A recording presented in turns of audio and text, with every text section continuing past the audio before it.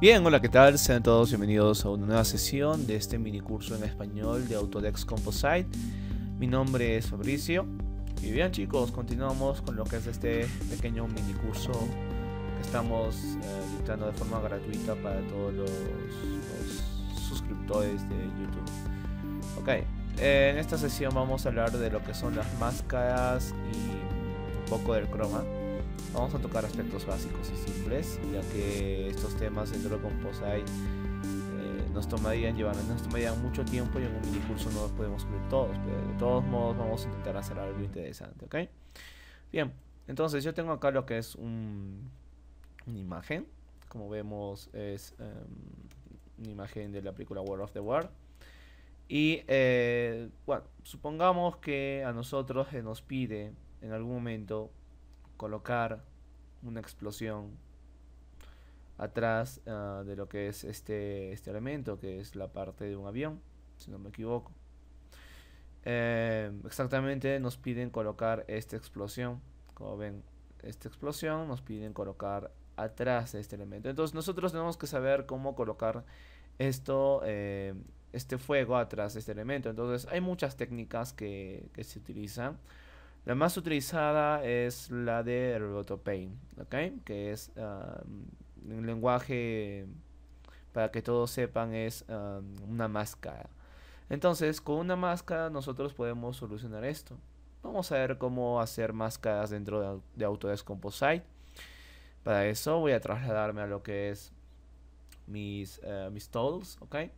Y vamos a buscar eh, algún elemento que nos permita o alguna herramienta que nos permita crear máscara.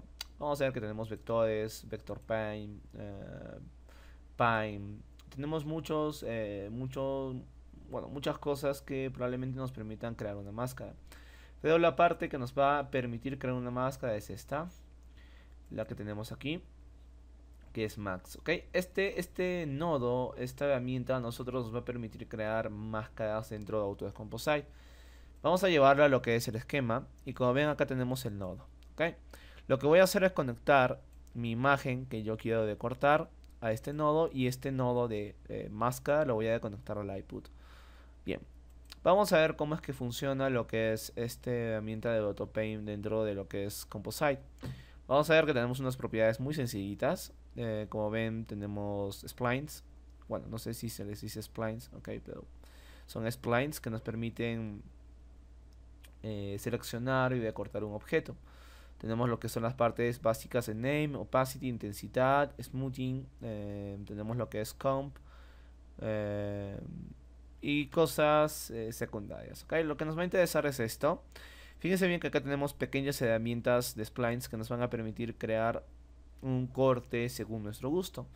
El más utilizado es este, esta primera herramienta que nos va a permitir dibujar un spline a nuestro gusto y con curvas. Entonces lo que yo voy a hacer es recortar esta imagen. Recordemos que nosotros nos están pidiendo que coloquemos una explosión atrás de esta turbina de avión. ¿Ok? Entonces vamos a intentar extraer esta turbina. Simplemente voy a darle clic en la parte de mi elemento que yo quiero extraer. Y si yo creo otro, otro clic, fíjense bien que se me va a ir creando splines o, o líneas que me va a ir segmentando. Me va a decir que esta parte está siendo decortada. Lo cual está muy bien. Entonces más o menos vamos a intentar hacer un recorte simplemente con darle clic. Esto es eh, AutoPaint, ¿no? O la herramienta de máscara dentro de Composite. Ok. Siempre tenemos que llegar, en cualquier programa de composición, tenemos que llegar a lo que es nuestro primer elemento, que es este, o el primer punto que hemos colocado. ¿Ok? Una vez que tengamos esto, tenemos que jugar con el modo de fusión. Ya tenemos seleccionado el objeto que queremos separar de la imagen. Lo que tenemos que hacer ahora es decirle que lo separe. Entonces para eso nos vamos a ir a lo que es comp y vamos a ir a lo que es en este caso inside. De este modo vamos a decir que nos extraiga únicamente el objeto que nosotros tenemos eh, seleccionado. El siguiente paso es integrar lo que es el fuego a lo que es atrás de este objeto. Y luego tenemos que colocar nuevamente este background. Entonces ya tenemos la máscara realizada, como ven es bastante sencillito. Yo puedo jugar eh, con los modos de fusión acá. Eh, puedo, por ejemplo, inside, yo puedo invertir para hacer un contracorte Eh, estos modos de fusión son bastante sencillos. Si tú vienes de Photoshop, se te va a hacer muy, muy, muy, muy rápido aprender esto, ¿ok? Bien, vamos a juntar los dos objetos. Entonces, ¿cómo juntamos estos dos objetos? En este caso me estoy refiriendo al, a esto, a la turbina y al fuego. Simplemente tenemos que traer un nodo de composición. Vamos a ir a lo que es composición y vamos a traer lo que es blend y comp. Recordemos que este nodo nos permite a nosotros juntar dos canales. Lo hemos hablado la semana pasada. ¿Ok? Entonces lo que vamos a hacer aquí es simplemente esto. Voy a, conectar lo que es esta entrada. Voy a conectar lo que es la entrada de máscara o la máscara lo voy a llevar a lo que es front. Y el fuego lo voy a llevar a lo que es, en este caso, el back. De este modo estoy diciendo que la máscara esté al frente, o sea, el recorte esté al frente y el fuego esté atrás. Vamos a transformar un poco las propiedades de este fuego. Vamos a deposicionarlo porque la idea es que nosotros coloquemos el fuego en esta sección. ¿Ok? Para eso voy a crear un nodo de transformación. 2 de transform. Y tengo acá el nodo. Vamos a deposicionar esto. Como ven acá yo puedo ir viendo el previo de cómo es que se va a ir viendo.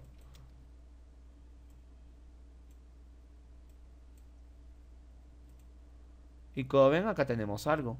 Muy bien, ya tenemos lo que es este primer elemento realizado. Vamos a integrar eh, lo que es el fondo, o sea, el esto de nuestro actor, o de nuestra escena mejor dicho. Para eso voy a crear nuevamente un nodo de composición. Voy a ir a lo que es Plane y Comp. Lo voy a conectar, bueno, mejor dicho, lo voy a dejar aquí en lo que es el esquema. Y voy a conectar lo que es en este caso el fondo a lo que es mi imagen principal y lo que es el from a lo que es esta otra imagen. Luego voy a conectar esto al output. Y como ven acá yo ya tengo lo que es mi composición. Bueno, acá hay muchas cosas que hablar. En primer lugar, el nodo de máscara, como ven, nos permite hacer recortes. De este modo nosotros podemos colocar objetos atrás de algún, algún elemento. Más que hacer recortes, nos permite extraer cosas, lo que es la herramienta de máscara, ¿no? Entonces acá, como ven, hemos hecho un recorte, hemos integrado lo que es esta turbina y hemos puesto el fuego. Bien, acá hay muchas cosas que hablar. En primer lugar, el fuego probablemente esté bien pero tendríamos que ver lo que es la deflexión, porque fíjense bien que este fuego se ve muy seco.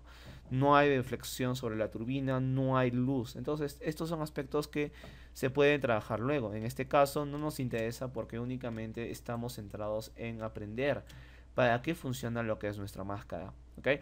La máscara tiene muchas utilidades. Esta es una de las principales, el de extraer objetos. Pero tiene otras utilidades como es en el chroma key, por ejemplo. Vamos a irnos a lo que es el chroma. Vamos a ver cómo crear chroma dentro de Composite. Como ven acá yo tengo lo que es eh, una escena de un, actor. Y yo quiero colocar lo que es este piso del fondo, ¿ok? Entonces lo que yo voy a hacer es... Eh, buscar una herramienta que me permita iluminar estos fondos. Porque si nosotros lo haríamos con lo que es máscara, bueno, tardaríamos mucho tiempo en extraer lo que es este actor. Y más que si esto tiene movimiento, sería un, sería un trabajo mediocre. Entonces, hay eh, elementos especiales que nos permiten a nosotros extraer fondos ya específicos. ¿Ok? Y eso se llama croma. Dentro de Composite tenemos muchos elementos potentes para lo que es el croma. Vamos a irnos a lo que son los todos y vamos a buscar las herramientas de croma. Como tenemos lo que es una opción llamada Keyer y otro Keying. Dentro de Keying vamos a encontrar muchas opciones. Una de ellas es Diamond Keyer, ¿ok? Entonces lo que voy a hacer ahora es conectar esta nueva escena al iPod. Y voy a conectar lo que es este Diamond Keyer aquí. Lo voy a llevar y lo voy a conectar en este caso directamente a lo que es mi actor o mi escena. Entonces, ¿cómo realizamos chroma aquí dentro de Composite? Bastante sencillo. Tendríamos que irnos a lo que es Plot Color escoger con lo que es el goteo y seleccionar el color verde. Una vez que nosotros seleccionamos el color verde, debemos irnos a lo que es definición y vamos a Alien Green. De este modo estamos, eh, como ven acá, voy a intentar ampliar este esquema. Estamos, como ven acá, seleccionando los colores verdes para que se supriman. Este esquema, esta paleta de color va a ser lo que va a guiar todo. Va a guiar los parámetros, las tolerancias, ven? Mientras yo vaya a darle un poquito más de, de expansión a los verdes, esto va a ir eliminando ciertas cosas. Tenemos que eh, también tener cuidado con eliminar partes del actor, como acá por ejemplo está sucediendo. Fíjense bien que la cabeza está siendo eliminada. Entonces tenemos que tener mucho cuidado con estas cosas. Este es un trabajo bastante, bastante minucioso que se tienen que hacer. Tenemos propiedades como la tolerancia, nosotros podemos manipular eh, lo que va a ser la transparencia que va a tener nuestro objeto. Lo que estamos haciendo acá es añadirle alfa a lo que es este seno, ¿ok? Estamos eliminando esos verdes para poder añadirles alfa. Entonces, este es el trabajo del chroma key. Tenemos que intentar extraer todo lo que es el fondo de eh, el fondo verde. En algunos casos es azul y en otros casos es eh, si no me equivoco, moderado, ¿ok? Son las tres telas más utilizadas en el cine. Bien, vamos a ver una herramienta más eficaz para hacer croma, que es el Keyer. Yo voy a llevar esta opción de Keyer, que viene directamente desde Smoky Flame, que es para mí, en mi opinión, casi la mejor herramienta para hacer croma dentro de Composite. ¿Cómo funciona esta opción de Keyer? Funciona muy muy similar a la Diamond Keyer. Para yo poder eliminar un color, simplemente me voy aquí, selecciono, Selecciono el color y como ven esto de forma automática va a calcularme todas las opciones. O mejor dicho, va a calcularme todos los colores verdes y los va a suprimir. Me va a mantener las sombras, me va a mantener muchas cosas, pero de igual forma hay muchas cosas que debemos tratar. Como por ejemplo van a ser estas, estas partes de mi actor. Si yo me voy al alfa, vamos a ver que ya existe alfa. Yo me estoy yendo al alfa con la letra A, por si acaso, ¿ok? Entonces acá vamos a ver que los colores blancos son los que queremos mantener intactos y los negros son los colores suprimidos. Bien, chicos, vamos a intentar eh, trabajar un poco con lo que son, eh, bueno, las tolerancias de este elemento.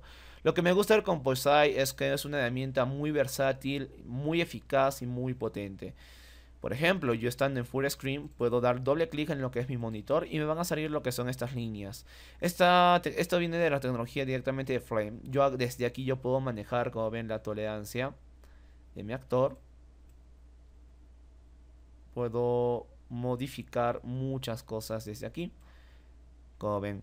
Entonces, la herramienta de Composite es, como vuelvo a repetir, una herramienta sofisticada de alto presupuesto que nos va a permitir a nosotros hacer grandes, grandes cosas. Bien, supongamos que esto ya lo tenemos extraído aquí. Vamos a añadir el fondo que tenemos acá. ¿Ok? Para eso, o mejor dicho, vamos a añadir este fondo que tenemos acá. Para eso simplemente podemos añadir lo que es back y colocarlo ahí. O, eh, bueno, aunque en este caso no vamos a hacer nada de no, no vamos a hacer ninguna integración porque no hay información en sí. Esta, esta información, mejor dicho, está mal. Ok, entonces lo que tenemos que hacer es crear un nuevo nodo de composición. O mejor dicho, tenemos que eh, manipular eh, lo que son las heridas. Me había olvidado de esto, ¿ok? Voy a enseñarles esto que es muy importante que aprendas. El nodo de Keyer tiene tres inputs. Eh, un primer input es, o perdón, tiene tres outputs y dos inputs, ¿ok? Entonces, un primer output, que es la salida, es la de EDGBA output imagen, que va a soltar la información en EDGBA luego es la A iPod imagen y luego es com iPod imagen. Com iPod imagen va a ser el resultado final. Entonces vamos a seleccionar esta salida y lo vamos a conectar al iPod. ¿Ok? Una vez que tengamos esto, vamos a conectar el back a lo que es el background. De este modo, si yo me voy a lo que es la composición final, vamos a poder ver que ya tenemos algo creado aquí. Exactamente no es lo que estamos buscando, pero bueno, fíjense bien que está integrándose de esta forma. Yo puedo hacer modificaciones aquí. Por ejemplo, voy a traer un nodo de transformación. Lo voy a transformar. Voy a darle un poco más de escala para darle cierto dramatismo a mi piso. ¿Ok? Acá hay muchas cosas que aún tenemos que trabajar. Eh, por ejemplo, que es esta tela, esta tela blanca eh, que es para eh, colocar la sangre. que también deberíamos extraer. Pero esto ya son cosas un poco más complejas. En lo general, hemos visto que el Diamond Cayer es una herramienta muy eficaz que nos va a permitir extraer eh, tonalidades, eh, tonalidades verdes o telas verdes. Más que extraer tonalidades verdes, vemos que en general Composite es una herramienta súper, súper, súper sofisticada, muy completa en mi opinión. Como ven, eh, tenemos lo que es el keyer y lo que es el máscara, que lo hemos tocado en cuestiones básicas, ¿ok? Recuerden que es un mini curso, no estoy intentando acá... Em, no estoy intentando acá eh, enseñarles cosas avanzadas porque, como les dije en un principio, es, nos llevaría mucho tiempo hablar de, de, todo lo que se puede hacer con Composite. Bien chicos, esto sería todo por esta sesión. Espero que les haya gustado y ayudado de algo. Recuerden suscribirse, darle like y comentar si quieren ver más contenido así. Eh, si desean de igual forma ver eh, un curso mucho más intensivo sobre lo que es Composite, háganmelo saber para poder programar un curso. Eh, y nada, vuelvo a descargar, suscríbanse, denle like, ok, denle like y yo voy a seguir subiendo contenido gratuito de Autodesk Composite. Bien, mi nombre es Fabricio y esto sería todo por esta sesión. Nos vemos.